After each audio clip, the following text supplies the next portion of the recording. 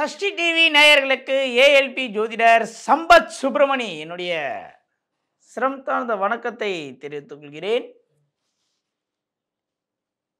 அனைவரும் வாழ்க்கையில் ஏதோ ஒரு கட்டத்தில் வெற்றி பெற வேண்டும் என்று தான் நம்ம நினைக்கிறோம். ஏதோ ஜெயிக்கணும். சில பேருக்கு பொருளாதாரத்தில் ஜெயிக்கணும் சில பேருக்கு ஃபீல்டில் ஜெயிக்கணும் இடம் வாங்கணும் வீடு கட்டணும்.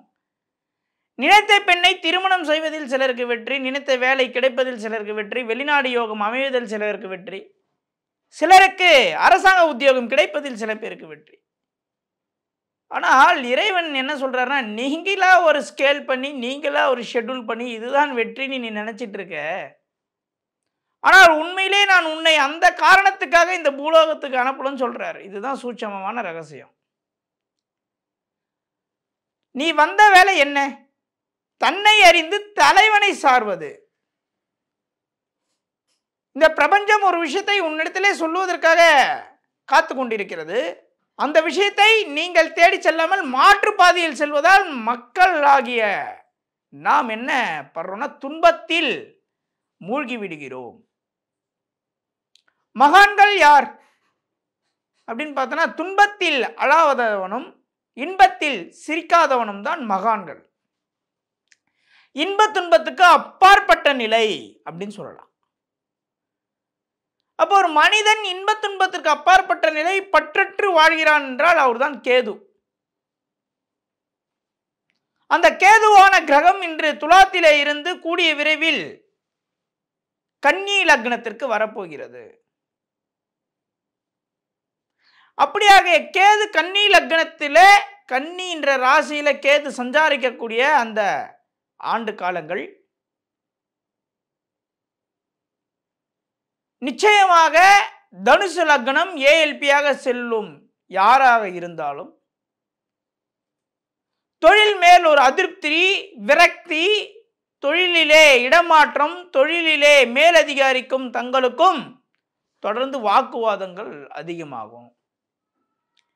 அப்போ இதுக்கு என்ன நிவர்த்தி? பத்தாம் இடத்திலே கேது செல்கிறார். கோச்சாரத்திலே ஏஎல்பி லக்னம் தனுசு.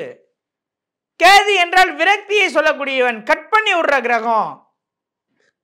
அப்ப என்ன பண்ணணும் அப்படின்னா ஏஎல்பி லக்னம் யாருக்கெல்லாம் தனுசு லக்னம் செல்கிறதோ வருகின்ற ராகு கேது பெயர்ச்சிக்கு முன்னாள் முப்பது நாள். பிஃபோர் தேர்ட்டி டேஸ் இல்லையே? பழனி மலைக்கு சென்று ஆண்டி கோலத்திலே முருகப்பெருமானை. கேது நல்லா கேட்டுங்க கேதுன்னா யாரு? ஆண்டி. ஆண்டி கோலத்திலே முருகப்பெருமானை தரிசித்து முருகப்பெருமானை அனுகிரகத்தை பெற்று முருகப்பெருமானை வணங்கி தொண்ணூறு நிமிடங்கள் ஒரு முகூர்த்தம் ஒரு கோயிலில் போனால் இருக்கணும். ஜஸ்ட் லைக் தட் அஞ்சு நிமிஷம் பத்து நிமிஷத்தில் நான் போய் சாமி பார்த்துட்டு வரேன்னு யாரும் போகக்கூடாது. அது பலனை அளிக்காது பயனையும் அளிக்காது. அப்போ தனுச லக்னம் ஏழ்பிய செல்பவர்கள் பத்தாம் இடத்திலே கேது செல்வதால் முருகனை ஆண்டி கோலத்திலே பார்க்க வேண்டும். பார்த்தால் நிச்சயமாக மாபெரும் மாற்றங்கள் பெரிய லெவல் விபத்து வந்து சிறிய லெவல் இன்சிடெண்ட்டாக போயிடும் அப்படின்றது தான் என்னுடைய கருத்து. இதுபோல் நீங்கள் உங்களுடைய ஏஎல்பி லக்னம் அச்சய லக்னம் என்ன என்று தெரிந்து கொண்டு இந்த ராகு கேது பெயர்ச்சிகள் உங்களுக்கு எப்படி வேலை செய்ய போகிறது என்று தெரிந்து கொண்டு நிச்சயமாக நீங்கள் அதற்கேற்றால் போல் உங்களை தயார் நிலையில் வைத்துக் கொள்ள வேண்டும். ஒரு இந்திய ராணுவ படை எல்லையிலே அனைத்து வித தயார் நிலையிலும் இருப்பாங்க. ஆனால் இருபத்தி நாலு மணி நேரம் சண்டை நடக்காது. சண்டைன்னு வந்ததுன்னா உடனடியாக அதற்கு ஆயுதங்களை தயார் நிலையில் வைத்திருப்பார்கள். அப்பொழுதுதான் அந்த எல்லையிலே மற்ற நாட்டுக்காரர்கள் ஊடுருவ முடியாது. அப்போ மக்களாகி நாம் ஜெயிக்க வேண்டியதற்கு என்ன காரணம் என்றால் அனைத்து விஷயங்களையும் ப்ரீ பிளான் செய்ய வேண்டும். வெள்ளம் வரும் முன்னையே அணை கட்டவும். அதுதான் சால சிறந்தது.